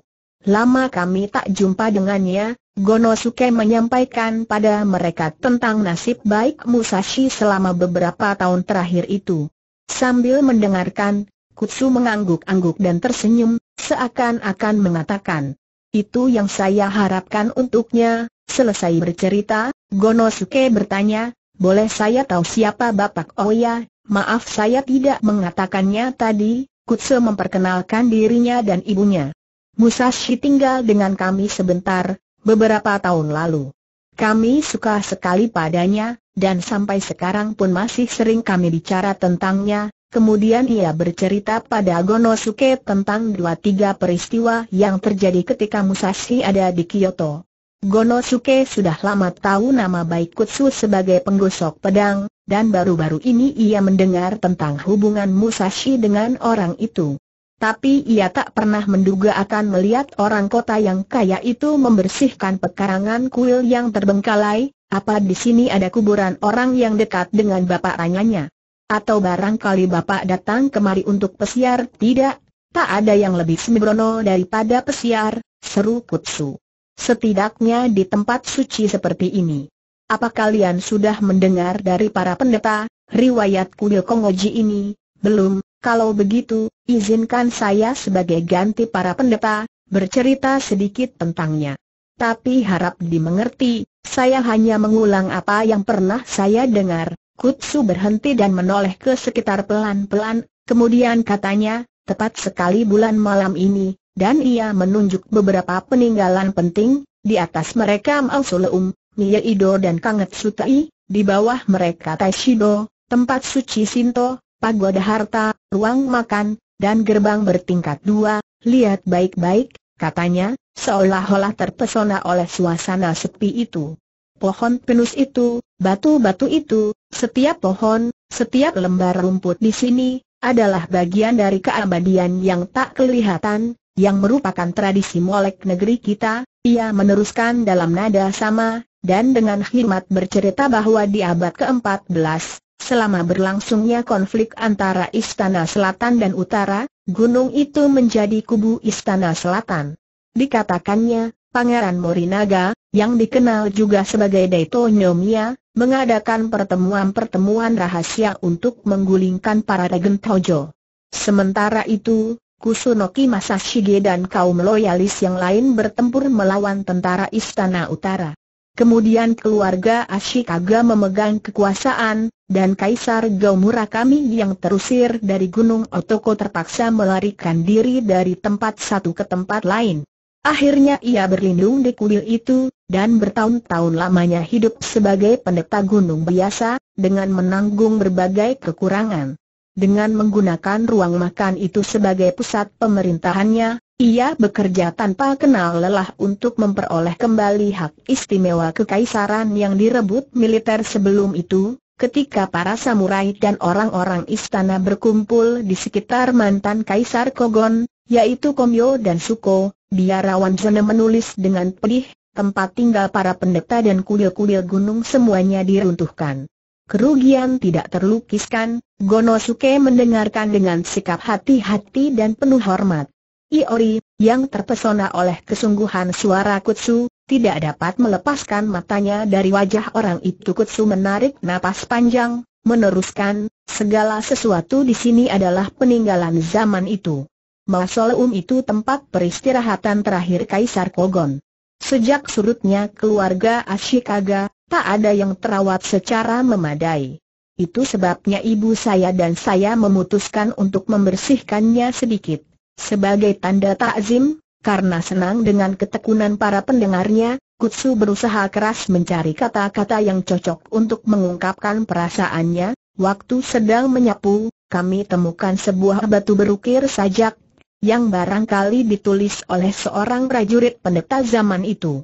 Bunyinya, biar perang berjalan terus, sampai seratus tahun sekalipun, musim semi kan datang kembali, hiduplah dengan hati bernyanyi.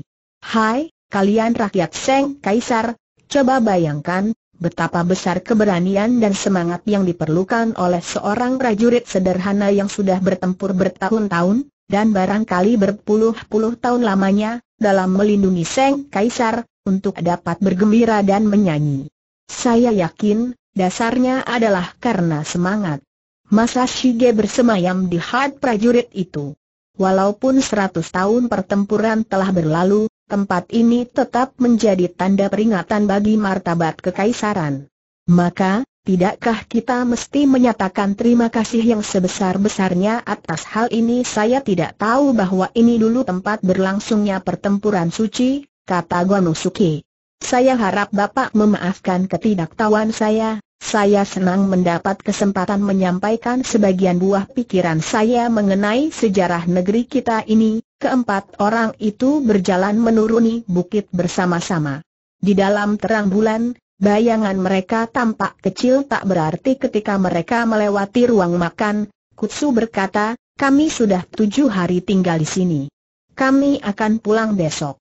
Kalau kalian bertemu dengan Musashi, Sampaikan padanya supaya dia menengok kami lagi, Gonosuke menegaskan bahwa ia akan menyampaikan pesan itu di atas sungai dangkal yang mengalir cepat sepanjang dinding luar kuil itu. Ada sebuah jembatan tanah belum lagi Gonosuke dan Iori menginjakan kaki di jembatan itu, sesosok tubuh besar putih bersenjatakan tongkat muncul dari balik bayangan, dan melesat menyerang punggung Gonosuke. Gonosuke menghindar dari serangan itu dengan meluncur ke samping, tapi Iori terpental dari jembatan orang itu menyeruduk lewat Gonosuke, ke jalan di ujung sana jembatan. Tapi seketika itu juga ia berbalik dan mengambil jurus mantap, kedua kakinya mirip batang pohon kecil. Gonosuke melihat bahwa orang itu pendeta yang telah mengikuti mereka kemarin, Siapa kau teriak Gonosuke pendeta itu tak menjawab Gonosuke menggerakkan tongkatnya dalam posisi siap memukul, dan berteriak, siapa kau? Apa alasanmu menyerang musuh Gonosuke pendeta itu pura-pura tak mendengar. Matanya memercikan api, Sementara jari-jari kakinya yang menyembul dari dalam sandal jerami yang berat itu merayap maju seperti lipan Gonosuke menggeram dan mengutuk berbisiklah beringsut ke depan dengan kakinya yang pendek berat, yang kini menggelembung karena nafsu berkelahi tongkat si pendeta patah berderak menjadi dua. Separuh melayang ke udara, separuh lagi dilontarkan sekuat-kuatnya ke wajah Gonosuke. Lontaran itu tidak mengena, tapi sementara Gono Sukai memulihkan keseimbangan badannya, lawannya menarik pedang dan menyerbu ke jembatan, bajingan pekik Iori pendeta itu menggagap dan memegang wajahnya. Batu-batu kecil yang dilemparkan Ion mengenai sasarannya, satu di antaranya tepat mengenai mata. Si pendeta pun berpusing dan lari, berhenti teriak Iori sambil merangkak naik ke tepi sungai, membawa sejumlah batu, biarkan, kata Gonosuke sambil meletakkan tangan ke lengan Iori. Biar dia tahu rasa ucap Iori puas, sambil melontarkan bebatuan itu ke bulan segera sesudah mereka kembali ke rumah Toroku dan pergi tidur, badai bertiup. Angin meraung-raung di antara pepohonan, mengancam akan menerbangkan atap rumah, tapi itu bukan satu-satunya hal yang membuat mereka susah tidur Gonosuke terbaring terjaga, teringat masa lalu dan masa sekarang. Terpikir olehnya, apakah dunia ini memang lebih baik sekarang daripada berabad-abad lampau? Nobunaga, Hideyoshi, dan Ieyasu telah memperoleh simpati rakyat, juga kekuasaan untuk memerintah, tapi terpikir oleh Gonosuke, tidakkah penguasa yang sebenar-benarnya itu telah terlupakan, dan kini rakyat disuruh menyembah dewa-dewa palsu? Zaman keluarga Hojo dan Ashikaga adalah zaman yang menimbulkan rasa benci, yang jelas-jelas berlawanan dengan prinsip yang menjadi dasar berdirinya negeri ini. Namun, di zaman itu pun, para prajurit besar seperti Masashige dan anaknya, juga loyalis dari banyak provinsi, tetap mengikuti tata krama prajurit sejati. Apa yang telah terjadi dengan jalan samurai? Ya, Gonosuke kini bertanya pada diri sendiri. Seperti halnya jalan orang kota dan jalan petani, agaknya jalan samurai sekarang ini hanyalah demi penguasa militer pikiran-pikiran itu membuat sekujur tubuh Gonosuke terasa panas. Puncak pegunungan Kawachi, hutan di sekitar kuil Kongoji, dan badai yang melolong semuanya jadi seperti makhluk-makhluk hidup yang berseru-seru kepadanya dalam mimpi sementara itu, Iori tak dapat mengusir pendekta tak dikenal itu dari pikirannya. Ia masih juga memikirkan sosok putih seperti hantu itu, lama kemudian. Ketika badai makin menghebat, ditutupkannya selimut ke atas matanya, dan barulah ia terlena dalam tidur lelap tanpa mimpi ketika mereka berangkat lagi pagi berikutnya, awan-awan di atas pegunungan berwarna pelangi. Baru saja mereka keluar dari kampung, Seorang pedagang keliling muncul dari balik kabut pagi, dan mengucapkan selamat pagi pada mereka dengan nada yang Gonosuke menjawab acuh tak acuh. Yoi masih terbenam dalam pikiran yang membuatnya tak bisa tidur malam sebelumnya, jadi ia pun tidak terlalu ramah orang itu mencoba membuka percakapan. Anda menginap di rumah Toroku tadi malam, ya? Saya sudah bertahun-tahun mengenalnya. Mereka orang-orang baik, dia dan istrinya, kata-kata itu hanya dapat memancing sungutan pelan Gonosuke, saya juga sekali-sekali berkunjung ke benteng Koyagyu, kata pedagang itu. Kimura Sukekuro banyak membantu saya, kata-kata itu dijawab dengan sungutan lagi, saya lihat Anda telah mengunjungi Gunung Koya para wanita, saya kira sekarang Anda akan pergi ke Gunung Koya itu sendiri. Sekaranglah waktu yang tepat. Salju mulai mencair, dan semua jalan sudah diperbaiki. Anda dapat melintasi celah Amami dan Kiimi dengan santai, dan menginap di Hashimoto atau Kamuro, usaha orang itu untuk mencari tahu rencana perjalanan mereka membuat Gonosuke curiga. Apa kerja Anda tanyanya, saya penjual tali kepang, kata orang itu, sambil menunjuk bungkusan kecil di punggungnya. Tali ini dibuat dari katun yang dianyam datar. belum lama ditemukan, tapi sudah cepat disukai orang, begitu, kata Gonosuke, Toroku banyak membantu memasarkan tali saya ini kepada para pemuja di kuil Kongoji. Sebetulnya saya punya rencana menginap di rumahnya tadi malam, tapi katanya sudah ada dua tamu. Agak kecewa juga. Kalau saya tinggal di rumahnya, dia selalu menyuguhi saya steak yang enak, ia tertawa Gonosuke jadi agak luluh, dan mulai mengajukan pertanyaan tentang tempat-tempat di sepanjang jalan itu, karena pedagang itu kenal benar dengan pedesaan di situ. Begitu mereka sampai di dataran tinggi Amami, percakapan sudah menjadi cukup bersahabat. Hei, Sugizo seorang lelaki datang menderap di jalanan itu, menyusul mereka. Kenapa kau tinggalkan aku? Aku tunggu di kampung Amano. Kau bilang akan singgah menjemputku, maaf, Gensuke, kata Sugizo. Aku jumpa dengan kedua teman ini dan asik bercakap-cakap, sampai lupa sama sekali padamu. Ia tertawa dan menggaruk kepalanya Gensuke, yang berpakaian seperti Sugizo itu, ternyata pedagang tali juga.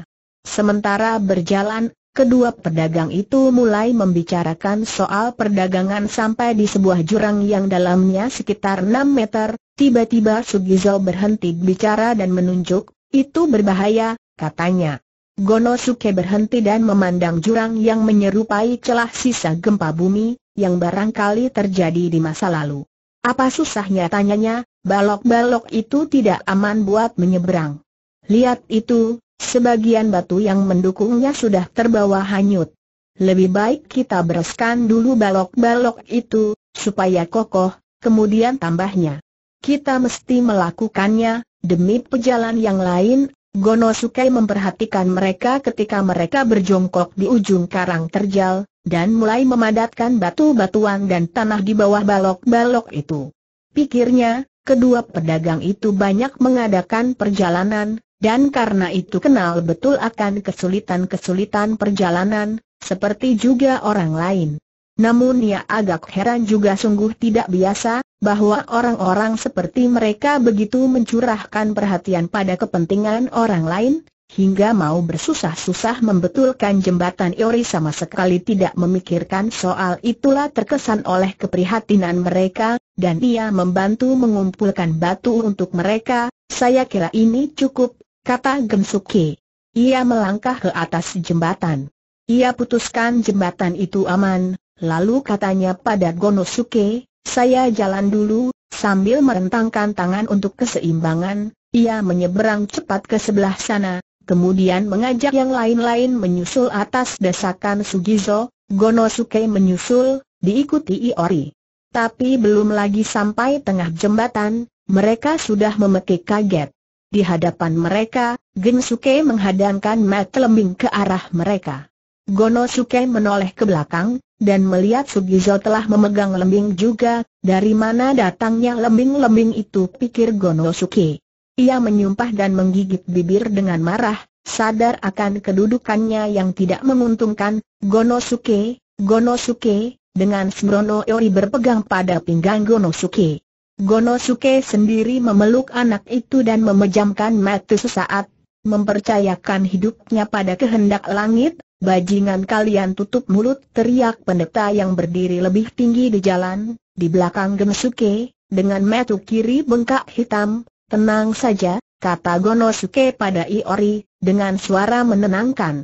Kemudian teriaknya, jadi, kaulah biang keladi semua ini. Nah, awaslah, bajingan pencuri.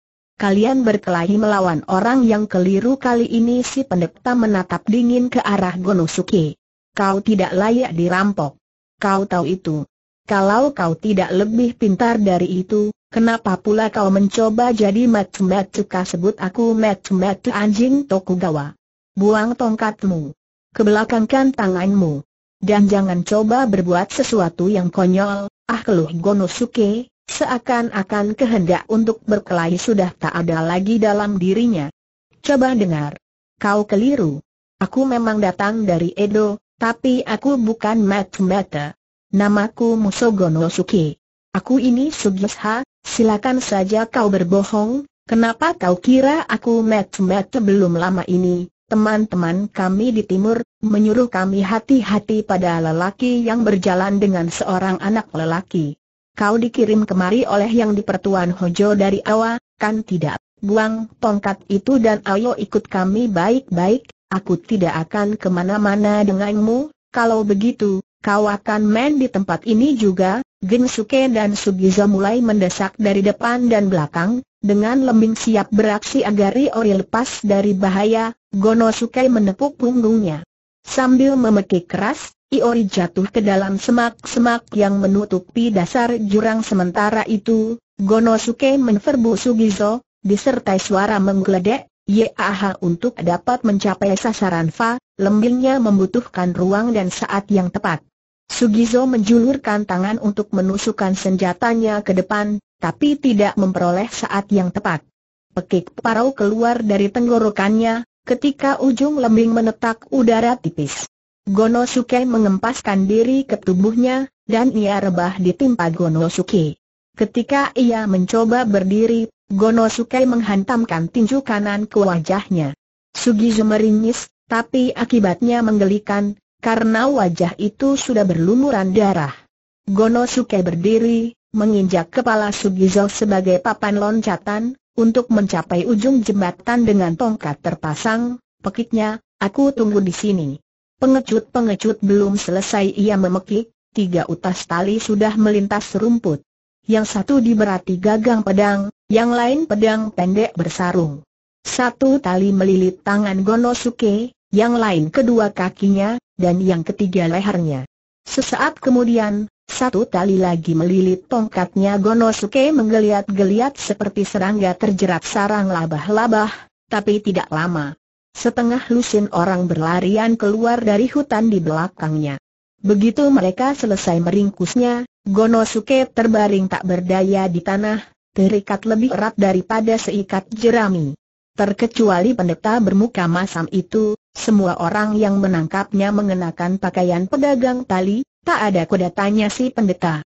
Aku tak ingin menyuruhnya jalan sampai Gunung Kudo, mungkin kita bisa menyewa kuda di desa Amami, kembang pir di tengah hutan kriptomeria yang gelap dan himat itu, Bunyi burung jagal rendahan bercampur bunyi burung bulbul surga terdengar seperti nada-nada indah burung mitos kalafingka dua lelaki turun dari puncak Gunung Koya. Mereka baru mengunjungi ruang-ruang dan pagoda-pagoda di kuil Kongobuji. Mereka juga baru menyatakan hormat di tempat suci bagian dalam, dan berhenti di jembatan lengkung kecil antara pekarangan dalam dan luar kuil, Nui Nosuke, kata yang tua, sambil merenung, Dunia ini memang rapuh dan tidak abadi, ya dari jubah buatan sendiri yang berat, dan hakamannya yang sederhana, orang bisa menduga bahwa ia seorang samurai desa, kecuali kalau orang melihat pedang-pedangnya yang sangat bermutu tinggi, dan temannya yang terlalu sopan dan berpendidikan bagi seorang abdi samurai daerah, kau sudah melihat sendiri semua itu, katanya melanjutkan. Maka Moda Nobunaga, Akechi Mitsuhide, Ishida Mitsunari, Kobayakawa Kingo yang beberapa tahun lalu masih menjadi jenderal-jenderal cemerlang dan terkenal. Dan di sana itu, batu-batuan yang tertutup lumut itu menandai tempat-tempat penguburan anggota agung klan Minamoto dan Taira, jadi, kawan dan lawan, semuanya ada di sini, ya mereka semua kini tak lebih dari batu-batuan yang sunyi. Benarkah nama-nama seperti Wasugi dan Takeda itu besar, atau kita cuma bermimpi saya juga merasa janggal. Rasanya dunia yang kita diami ini bukan dunia nyata, begitu, ya? Atau tempat ini yang tidak nyata ya? Siapa tahu menurutmu, siapa yang punya gagasan menamai jembatan ini jembatan hayal pilihan nama yang bagus juga, ya saya pikir hayal sama dengan kebenaran, tepat seperti pencerahan sama dengan kenyataan. Kalau hayal itu tak nyata, maka dunia ini tak mungkin ada. Seorang samurai yang membaktikan hidupnya kepada tuannya tidak dapat sedikit pun tidak membiarkan dirinya menjadi seorang nihilis. Karena itu, Zen yang kuhayati ini adalah Zen yang hidup. Zen dari dunia tercemar, Zen dari neraka. Seorang samurai yang ngeri memikirkan kefanaan, atau membenci dunia ini, tidak dapat melaksanakan kewajiban-kewajibannya. Nah, cukuplah kita di tempat mimar kita kembali ke dunia lain, terlihat olehnya pendeta-pendeta dari kuil Seiganji, dan ia mengerutkan kening dan menggerutu, kenapa mereka lakukan hal itu? Ia telah tinggal di kuil itu malam sebelum Fa, dan sekarang sekitar 20 pendeta muda berbaris sepanjang jalan setapak, hendak melepas keberangkatannya, Padahal minta diri pagi itu dengan maksud menghindari pertunjukan macam itu ia cepat bersalaman dengan mereka, sambil mengucapkan kata-kata perpisahan dengan sopan, kemudian segera menuruni jalan yang menghadap ke sejumlah lembah yang dikenal dengan nama Kojukutani. Baru sesudah ia mencapai kembali dunianya yang biasa, ia dapat merasa lega. Sebagai orang yang sadar akan sifat hilafnya sendiri, Bau dunia yang ini terasa melegakan, halo, siapa anda? Ini pertanyaan itu datang kepadanya seperti tembakan, ketika mereka membelok di tikungan jalan itu, dan anda siapa? Tanya Nuinosuke samurai bertubuh tegap dan berkulit kuning yang berdiri di tengah jalan itu berkata sopan, maafkan saya, kalau saya keliru, tapi apa Anda bukan abdi senior yang di pertuan Hosokawa Tadatoshi, Nagaoka Sado saya memang Nagaoka. Siapa Anda, dan bagaimana Anda bisa tahu saya ada di daerah ini nama saya Daisuke. Saya anak tunggal Geso, yang hidup memencilkan diri di Gunung Kudo, melihat bahwa nama itu tidak menimbulkan reaksi apa-apa, Daisuke pun berkata, ayah saya sudah membuang namanya yang lama, tapi sebelum pertempuran Shikigahara dia dikenal dengan nama Sanada Saemonosuke, maksud Anda Sanada Yukimura betul, dengan sikap malu yang berlawanan dengan tampangnya, kata Dayasuke, seorang pendeta dari kuil Seiganji singgah di rumah ayah saya tadi pagi. Dia bilang, Bapak datang berkunjung ke Gunung Koya. Kami mendengar Bapak mengadakan perjalanan ini secara incognito, tapi ayah saya berpendapat, Sayang sekali kalau tidak mengundang Bapak minum teh, oh, saya mengucapkan terima kasih atas kebaikan beliau, jawab Sado. Ia menyipitkan mata sebentar, kemudian katanya pada Nuinosuke, kupikir kita mesti menerima undangannya. Betul-betul, Pak, jawab Nuinosuke kurang bersemangat Dayasuke berkata, hari masih cukup pagi, tapi ayah saya merasa mendapat kehormatan kalau Bapak sudi bermalam di tempat kami. Sado ragu-ragu sejenak, apakah cukup bijaksana kalau ia menerima keramah tamahan orang yang dianggap musuh keluarga Tokugawa itu? Tapi kemudian ia mengangguk, katanya, soal itu dapat kita putuskan nanti, tapi dengan senang hati saya akan minum teh dengan ayah Anda. Setuju, Nuinosuke setuju, Pak, Nuinosuke kelihatan agak gelisah, tapi ketika mereka mulai berjalan di belakang Daisuke, Chuan dan Abdi itu saling melontarkan pandangan maklum. Dari kampung di Gunung Kudo itu, mereka mendaki gunung lagi ke tempat kediaman yang terpisah dari rumah-rumah lain. Tanah yang dikitari dinding batu rendah, yang disambung pagar rumput anyam itu, mirip dengan rumah yang setengah dibentengi, milik panglima perang kecil di daerah, tapi kalau diperhatikan segala sesuatunya, orang lebih terkesan oleh kehalusannya daripada kesiapan militernya. Ayah saya di sana itu, di dekat rumah beratap lalang, kata Dayasuke, ketika mereka sudah melewati pintu gerbang ada sepetak kecil kebun sayur, cukup untuk menghasilkan bawang dan dedaunan bahan sup pagi dan malam hari. Rumah utama berdiri di depan batu terjal, di dekat beranda samping tumbuh rumpun bambu, dan di baliknya dua rumah lagi baru saja kelihatan Muinosuke berlutut di beranda, sementara Sado dipersilakan masuk ruangan Sado duduk, dan katanya, tenang sekali di sini, beberapa menit kemudian, seorang perempuan muda yang ternyata istri Dayasuke diam-diam menghidangkan teh, kemudian pergi sementara menanti kedatangan tuan rumah, Sado melayangkan pandangannya ke arah kebun dan lembah. Di bawah ada desa, dan di kejauhan tampak kota penginapan Kamuro. Bunga-bunga kecil berkembang di lumut yang bergayut pada atap lalang yang menggelantung. Tercium pula bau semerbak setanggi yang jarang ditemuilah dapat mendengar sungai mengalir cepat, melintasi rumpun bambu, sekalipun tak dapat melihatnya ruangan itu sendiri menimbulkan perasaan keelokan yang tenteram, yang secara halus mengingatkan orang bahwa pemilik kediaman yang tidak megah ini adalah anak kedua Sanada Masayuki, yang di pertuan benteng Wada yang berpenghasilan 190 ribu gantang tiang-tiang dan belandar-belandarnya tipis, langit-langitnya rendah.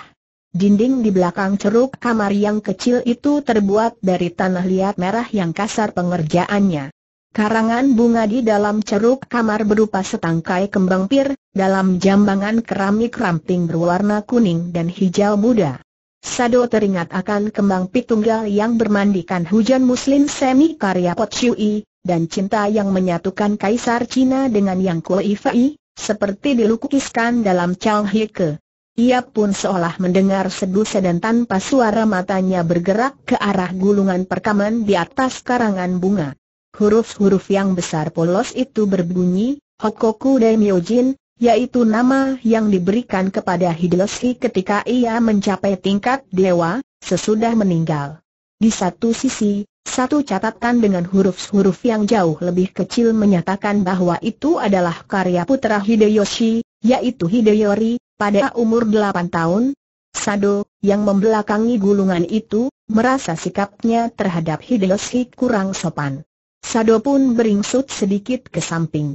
Selagi ia berbuat demikian, tiba-tiba ia tersadar bahwa bau menyenangkan itu bukan dari setanggi yang terbakar pada waktu itu juga, melainkan dari dinding dan soji, yang tentunya telah menyerap bau semerbak itu ketika setanggi ditempatkan di sana pagi dan malam untuk memurnikan ruangan, guna menghormati Hideyoshi.